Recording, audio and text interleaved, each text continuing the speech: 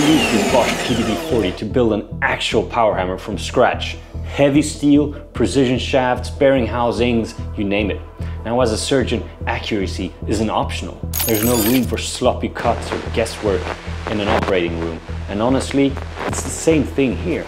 So after five years of drilling steel with this little bench top machine, the question is, can the PDB-40 really deliver the kind of precision I would trust in a surgical setting, even on something as insane as a power hammer? Now I bought this drill press five years ago for one reason, to build a power hammer from scratch. Thick steel plates, brackets, shafts, everything. Basically a Frankenstein operation. And this little PDB-40 was my surgical assistant. Let's start with the build quality. No, it's not industrial. It's not a floor standing monster. But for a benchtop drill press after five years, it still runs like a calm patient on anesthesia. The assembly was extremely easy. There's no major play in the quill. The column is straight and the table holds up. I've drilled mild steel, stainless, thick brackets, basically everything except for bone. Can see some damage in the table, which is uh, user error, of course but I mean, it still holds up good. As you can see, the previous drill chuck has some major damage. This is because of uh, user error, this one as well. I tried to, I'm not gonna go into details, but yep, pretty stupid error. For me, this is where the PDB-40 shines, the controls. It gives you a lot of control. First off, you got the digital RPM display, clear, accurate, and instant. When you switch from stainless to mild steel or aluminum, wood, you name it, it's like changing tools in an operating room. Precise and fast.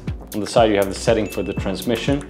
There's a two-speed transmission, one for high RPM and one for low, which gives you more torque. You will use both of them, trust me. The machine comes with an electronic constant speed control, which is huge. Now, no matter how much pressure you apply, it will keep the RPM steady, like a surgeon, keeping steady pressure on a bleeding. Laser crosshair, it's a bit weak for me, not perfect. Honestly, I don't really use it, but it's there. Furthermore, there's a depth stop. This is an amazing for repeat operation. Set it once, drill 50 identical holes. Setup is pretty easy. You just open this lever, you adjust it and fasten it.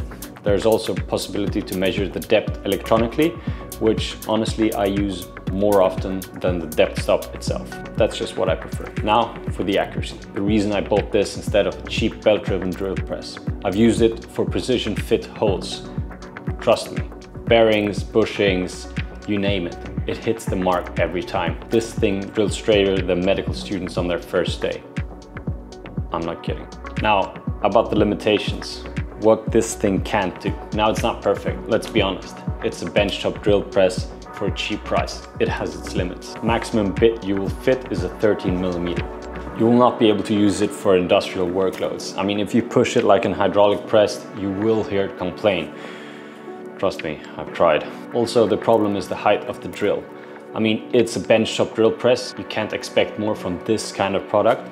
But if you need to drill something and you need the clearance, then this benchtop drill press is not your go-to guy. The clamping mechanism was good in the beginning, but over time it has worn out. And right now, uh, drilling anything in steel is completely off the table. Uh, wood, it can still work, but the aging of the clamping mechanism over these five years is very evident. Uh, and that is for sure one of the weaker points. Now, I've read a lot of complaints about there's a wheel instead to use to control it. For me, it has never been an issue. I can see why some would prefer the old style over the wheel, uh, but it has worked out fine for me and it does give you a lot of control. Uh, so for me, it's no issue whatsoever.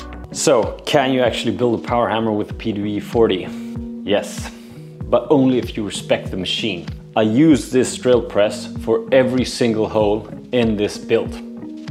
Every single hole and the accuracy is good enough for a working condition power hammer. It handled it consistently, accurately, without dying on the operating table. Here's the complete surgical diagnosis.